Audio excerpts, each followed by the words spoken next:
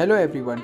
Today on Adorable Horse Breeding YouTube channel showing videos on amazing facts about Mustang breeding horses, learning colors, characteristics, health and important behavior of Mustang breed of horses are important for equine students. Mustang horses are the descendants of Spanish horses. They were brought to Central, South and North America during the colonial era. The meaning of the Mustang breed of horse means ownerless beast. Although they are wild horses, there is a specific modern breed that was bred through quarter horses and draft horses. Mustang have muscular bodies and hard hooves which make them suitable for scouting and trial riding. A free Mustang is able to walk 20 miles during an average day because of his hard hooves. A Mustang can be as small as 13 hands and as long as 16 hands. The weight may vary from 700 pounds to 1500 pounds. It is against law to capture or kill a Mustang horse as per the Wild Free Roaming Horse and Burro Act passed in 1971 in the United States. The Mustang require very little food to survive. They only need 6 pounds of grass or hay per day. As per the requirement they can survive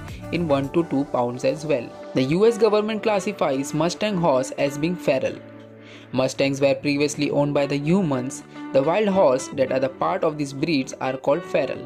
Most of the Mustang horses can run or gallop at a speed of 25 to 30 miles per hour, which is 40 to 48 km per hour. But it has been recorded that the Mustang reaches 55 miles per hour, which is 88 km per hour for a short distance. Mustang horses live in a group called herds. It consists of one stallion and around 8 females and their young ones. The breed of Mustang horse include draft, large horse breeds to be a working animals and thoroughbreds. Mustangs are known for their wild nature, but it can be tamed and ridden like other horses.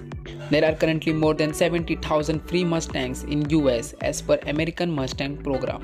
In the 20th century, the number of Mustang horse declined as they were killed for the feeding purpose of dogs and humans and various other purposes. Subscribe and turn on notification so you don't miss amazing facts, horse videos of horse breeding. Check out the playlist of horse donkey breeding and I will see you in the next video. Take care.